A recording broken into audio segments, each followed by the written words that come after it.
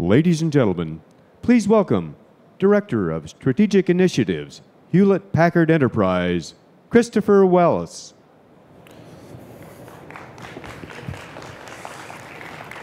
Good morning, everyone, and I hope everyone's feeling okay on this uh, lovely Thursday morning after the big party last night. It's always a bit of a challenge to, uh, uh, to get folks to come in attentive and feeling good, but it looks like most of you are, so we really appreciate that.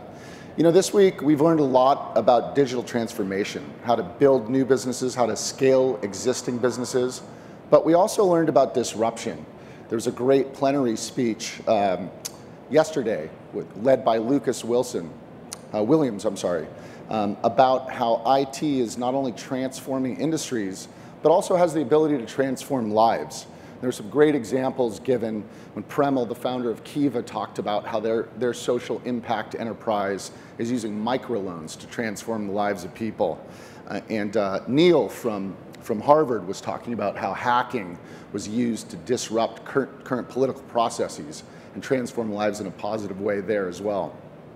Hewlett Packard Enterprise, well, actually leading back to HP and our founders, has a long legacy of social and environmental responsibility. And actually, one of my favorite quotes was given by David Packard back in 1949, where he said, The betterment of our society is not a job to be left to a few, but is a responsibility to be shared by us all. And really, what David was talking about long before his time was this concept of businesses creating shared value, which is a paradigm where businesses, when they're actually operating as businesses and not as philanthropic donors, actually have the ability to have the most impact. Back in last November, when we split into two companies, and Meg was really articulating the vision for Hewlett Packard Enterprise, she talked about how collaborative people, transformative ideas, and empowering technology converged in this way that it could really have profound impact, both for businesses and for people as well our leadership came to us at this time and they said, you know, we're really doing a lot of great things. Um, we've got a number of different initiatives, but we would really like to focus in a way that we combined forces and we aligned in a strategic way where we tied together this concept of people, ideas, and technology, where that was really at the core. And so what we did is we focused on creating a new initiative that had kind of a key, some key points in mind in terms of a vision. We really wanted to create an ecosystem for social change. Um, we wanted to leverage the global reach of our, of our employees. We're in 175 different countries. We wanted to utilize our technology to connect people across value chains, prioritize the simplicity of solutions, and innovate through our products. So what was the problem statement? Well, most folks are familiar with this concept of the digital divide. And the concept has actually evolved over time. Whereas 15 years ago, the digital divide meant whether or not somebody was connected to the internet. Now that's actually evolved to what I would refer to almost as the digital services divide or even the app divide. Um, some are even referring to the future of something known as the data divide. Now that we have the proliferation of mobile devices, and there are so many people around the world connected to the internet. It's really this concept of tapping into things like employment, financial services, health, and educational services, bringing those people onto the digital highway, tapping into the services that all of us in this room enjoy, um, getting them to the point where we're actually able to transform their lives as well. An interesting statistic is that you know, out of the world's estimated 7 billion people, 6 billion actually have access to mobile phones, while only 4.5 billion have access to proper sanitation, working toilets essentially. So we know that the potential for technology to break down barriers is really limitless. So what we did was, as opposed to focusing on any one given specific problem, we decided to challenge the global community. We asked them quite simply, what software applications and digital services would you create to improve the lives of others? And we specifically made that as broad as possible so that we could filter in and feed in as many ideas as we could. We're not experts in social impact, but we are experts in technology. So it was about helping those that were helping others. And the results were quite profound. We, we launched back at Discover actually in London in December.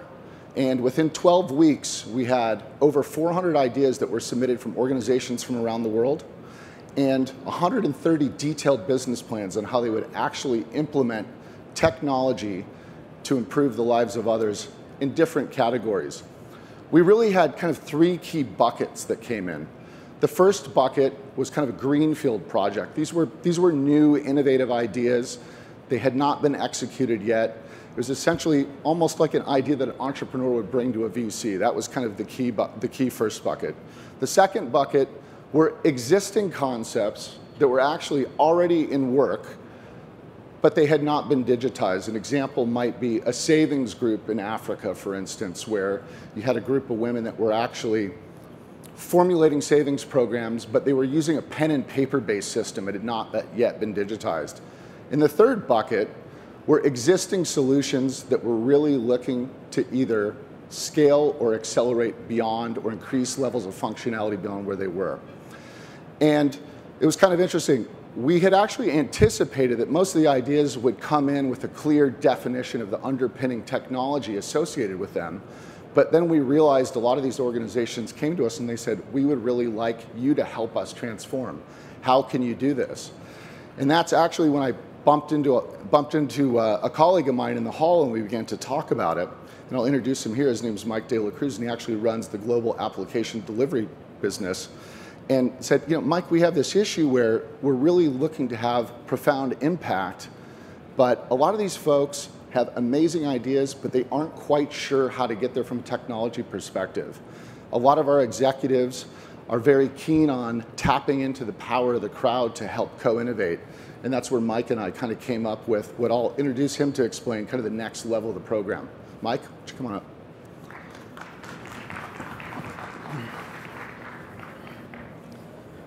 Okay, hi everybody. okay, so uh, just briefly, uh, before we uh, want to loop back to where Chris uh, uh, ended up with in terms of how we came up with this, but you know, the result was we did get these 400 different ideas coming from all around the world, and 140 of these became uh, detailed business cases. So the thinking was, well, how are we going to get there, right? How are we going to get there given where we were a few months ago? uh, because Chris and I only met, you know, uh, just earlier part of the year. And we thought about the fact that we're going to have to approach this very, very differently. We knew that we had to take the ideas and the deep domain expertise that were in the nonprofits, that understood their domain, that had deep insights into their domain. And we knew we had to match them up with a diverse group of expertise in our own company uh, anywhere from diverse backgrounds in diverse countries, from various business and technical disciplines. Okay, so challenge number one. We also knew that once we identified these people, we needed to be able to bring the volunteers together very quickly to collaborate with the nonprofits and uh, come up with these detailed business cases and solutions. And we needed to be able to do that in a process that would get them from zero to 60 in a couple of weeks. So we were running two to three week sprints with a nonprofit, with a team just, just formed for, um, virtually to come up with these solutions. Okay, and we had to do that at scale, as you see from uh, what we've been able to accomplish. And so what we did was we turned to the power of design thinking. You know, this is the solution-based approach to coming up with creative new ideas and solutions and we, but we didn't want to train everybody in design thinking. We just wanted to do it, right? We wanted it embedded in our process. The other thing we did was we said, okay, let's take design thinking and let's amplify and scale that with the power of the crowd, crowdsourcing. Okay? And overall, over the last few months, we've been able to engage 4,000 volunteers uh, in our company. Uh, these are software developers, uh, QA architects, uh, marketing professionals, HR professionals, people in finance to all come together and engage on these uh, problem and opportunity areas. Right? And when you look at um, when you look at what they were able to accomplish, you know, one volunteer told me how great it was to actually leverage her professional expertise to create some social impact and to be able to connect with and meet with many people across the team, cross organizational boundaries, and make something new happen. In fact, a lot of the volunteers were just like her. They're very engaged. So, of these 4,000 volunteers over the last three months, um, these 4,000 volunteers on average spent 30 minutes on the platform documenting their ideas, their solutions, their proposals, and adding to and extending others. And this is just the work they were doing, say, if you will, on the platform. Uh, this is not the work, this is not, does not capture the work they were doing to kind of innovate the idea among different teams and also with the nonprofits themselves. Okay, so we really kind of leveraged this power of the crowd, and the results have been pretty cool, very awesome to see, right? And we're hoping that, you know, as these results are ones that actually help improve the lives of many, I think that there are also some lessons in these results and in this program in terms how you might be able to take uh, the power of the talent in your organizations and in your ecosystem and apply them, not, not just to social problems, but maybe to business problems that you have in your companies. And that's why we are so excited to share this message with you today. So let's take a look at some of the outcomes, the positive outcomes, and they have been awesome.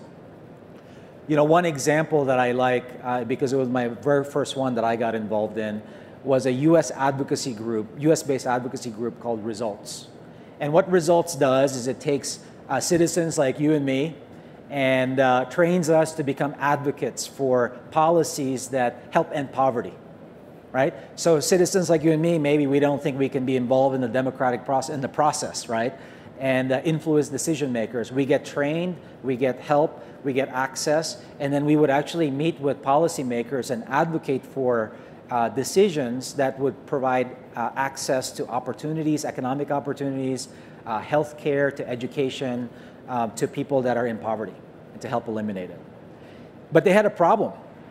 You know, the problem that results had was that they had to find these citizens um, and they wanted a much more efficient way to do that than cold calling, say, local organizations or talking to their local universities or tapping people they'd worked with before to find new uh, potential volunteers and advocates. So they were literally trying to uh, look for needles in the haystack, right? And maybe your organization is doing that too. You're looking for needles in the haystack, maybe consumers that you're targeting, or maybe people that you're doing uh, recruiting for, uh, and try to bring them into the organization right? So they wanted to find solutions to uh, finding those needles in the haystacks.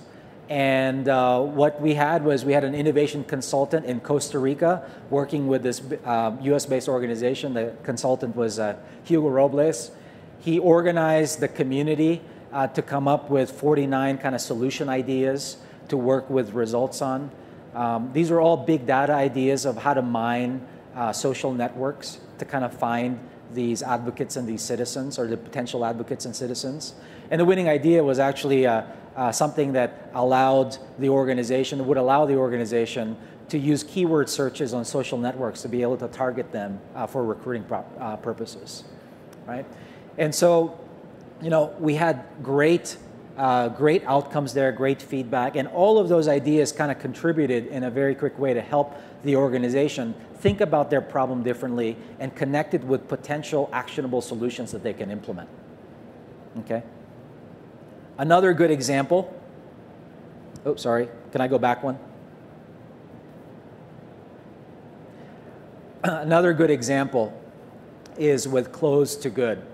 So this was uh, a, a network of nonprofits and social enterprises in South Africa. Okay?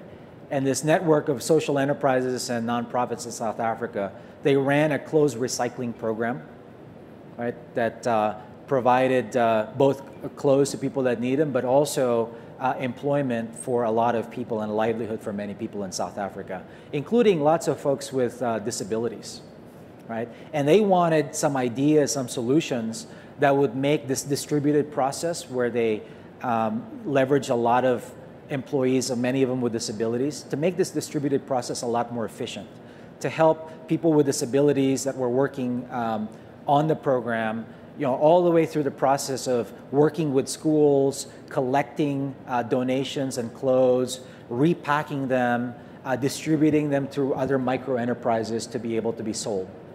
Okay, and that process had a distributed group uh, that had to become much more efficient if they wanted to scale and be more successful. right? And so they thought, well, this is perfect. You know, they're distributed, they're mobile. What are the kinds of mobile technologies and solutions we can actually apply? We know the problem, we know the opportunity, but how do we come up with solutions? And so we had an innovation consultant. Uh, this was Brian Santiago, based in Manila, uh, working with this organization in Africa, tapping a global ecosystem around the world of uh, different talent. And they worked on almost 30 ideas of solutions uh, around the mo mobility space to help make this process more efficient for clothes to good. It's, it ranged anywhere from 3D barcodes that could be used to kind of automatically uh, tag uh, clothes coming in so people wouldn't have to write things down and make the whole process more efficient, to uh, smart scales so folks with uh, disabilities didn't have to kind of write down uh, anything you know, in the whole process that were connected. Right? The winning idea was a, an idea called tag and scan that we helped develop uh, further into a business case and a proposal with the, with the organization that essentially did that. It helped uh, quickly kind of tag and scan clothing that came in and made the whole process from uh, collecting all the way through to distribution much more efficient. Right? And so this example might be relevant you know, to, to uh, your organizations where you might have a distributed workforce, you might have inefficiencies in the process, and you're looking for mobile applications that uh, might make that whole thing better. Maybe you're even working with folks outside of the organization, uh, partners in the ecosystem. Right? So it's incredibly exciting. Uh, there are a lot more examples. I'd love to show you a video uh, so that you can hear about three more of these great examples. Let's roll it, team.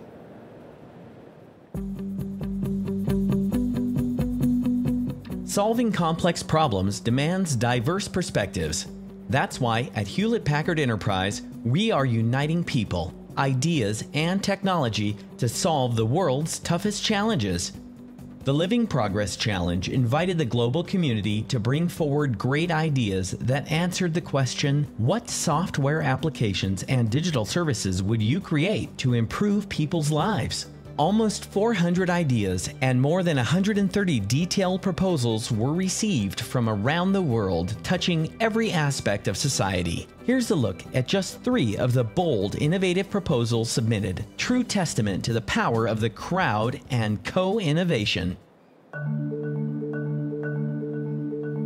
Natural disasters affect families, communities, and economies. And each year, thousands of affected businesses never recover and close their doors forever. But the Global Disaster Preparedness Center aims to change that. Their concept is a mobile app that will help businesses take simple steps toward recovery and continuity after a disaster.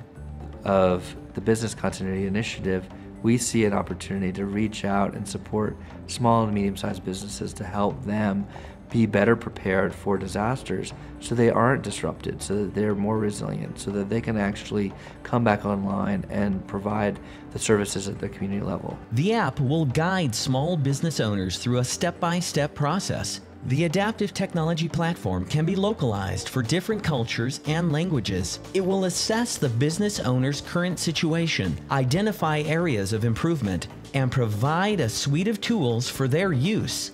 This is going to help their communities who will become more resilient. Their employees will be more confident. The uh, communities themselves will be able to rely on these businesses to, to come online and provide their services and, and the, the products that they uh, offer. Uh, this will also help the response community because it will reduce the costs of, of disasters. It will reduce the amount of support that's needed to provide uh, at the community level. It will, it will make communities recover faster.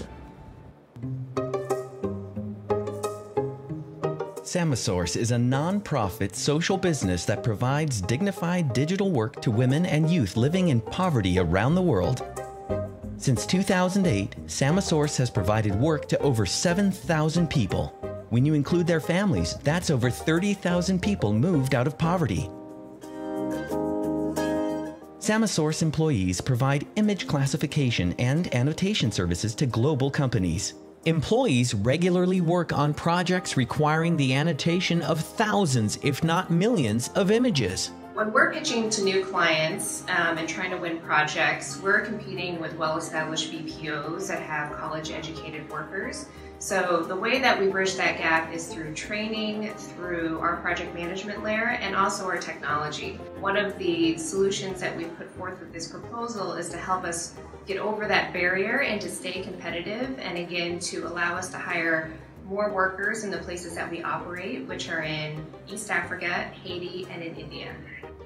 The Samasource concept will leverage and customize the predictive analysis and image recognition capability of HPE's Haven on demand APIs. An example of this in action, analyzing aerial footage of an African national park to identify both the number of elephants and potential poachers. When deployed, the project will enable Samasource to scale its services, expand its clientele, and help lift more of the world's most disadvantaged out of poverty. Millions of people around the world have almost no contact with the formal health system. According to UNICEF, the births of nearly 230 million children under the age of five have never been officially registered. Yet, continued engagement with a formal health system throughout pregnancy, birth, and the first nine months of life for an infant can dramatically reduce maternal and infant mortality rates. BirthTrack is a clinic-based tool running on Android devices that will collect basic information and monitor women throughout their pregnancy and delivery. By registering newborns upon delivery, we can create a national birth registry, which will allow us to seamlessly integrate children into early childhood services such as immunizations.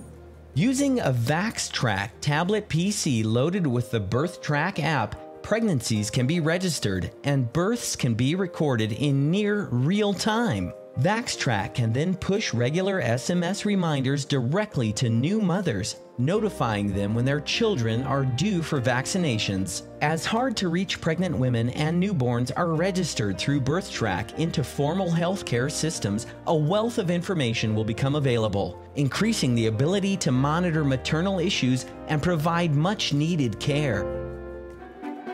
Combining the power of great ideas around the world with the expertise and power of HPE technology. Together, we can help the Living Progress Challenge reach the goal of changing 1 million lives through the power of digital inclusion.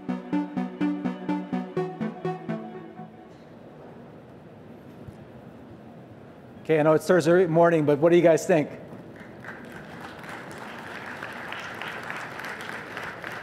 Hopefully you've seen um, you know something uh, really cool, right? In terms of how uh, we've tapped the power of the crowd uh, in the process of design thinking to be able to help uh, impact and make a big social impact and help nonprofits with the right domain expertise in the areas that they work in to really kind of leverage technology uh, to achieve their missions, right? What I also hope is that you guys have some ideas maybe, it gets you kind of going thinking about uh, how you might be able to tap uh, your own crowd, your own uh, talent across your organizations, maybe in your ecosystem.